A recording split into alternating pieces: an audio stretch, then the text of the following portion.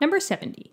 Based on their positions in the periodic table, predict which has the smallest first ionization energy Li, Cs, N, F, or I. Okay, so we did a very similar problem like this in number 69. So if you want to do more practice, you could go and see that one if you haven't already.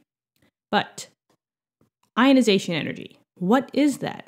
Well, ionization energy is the energy needed in order to remove an electron.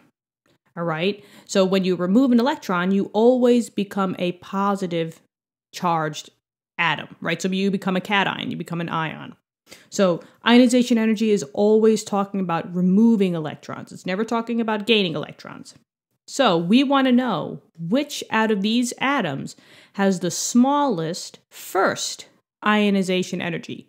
First ionization energy, the first implies that you're only losing the first electron.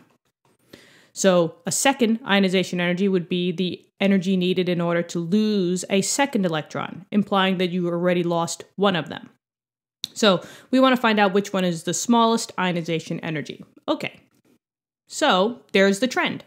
We need to know the trend for periods and for groups. Periods go across the periodic table. So the trend for ionization energy, and I'm just going to put ionization energy, IE, for here. Just know that as you go across the period from left to right, ionization energy would um, increase. Okay, so that means that these elements on the right hand side would have a much higher amount of energy needed in order to remove an electron as opposed to the elements over here. Why is that? Because generally speaking, nonmetals, this part, wants to gain electrons. They don't want to remove electrons. It's usually the metals that want to lose electrons.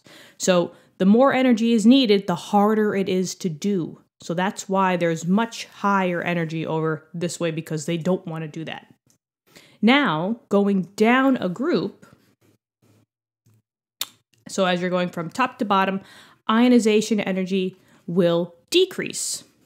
So as you're going down a group, so if you're going down from fluorine to iodine and below, your ionization energy would decrease. So that means that you would have much higher ionization energies at the top as opposed to the little ones down below.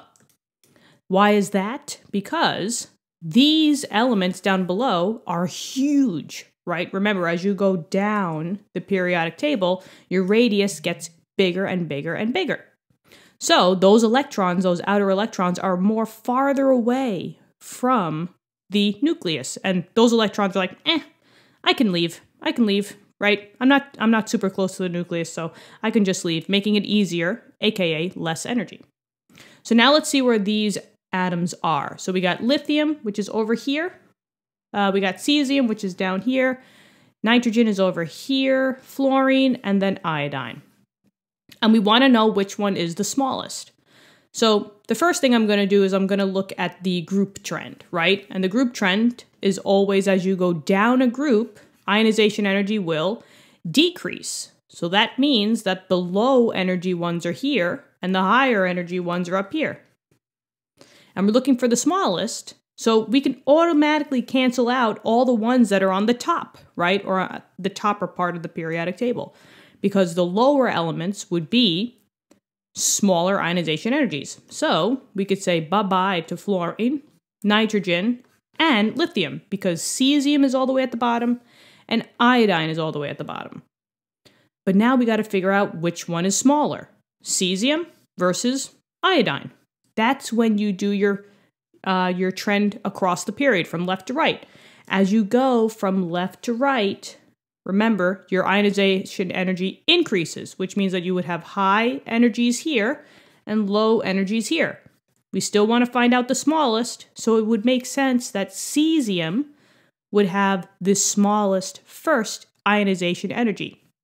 So cesium is the correct answer. So that just means that it has the least amount of energy required in order to lose or remove an electron. That's all that this is saying. All right? So, guys, thanks for tuning in. Hopefully, this helped. If it did, click the like button. And if you want to help the channel out, click subscribe. Thank you so much for that. I will see you all in the next question. Have a great day.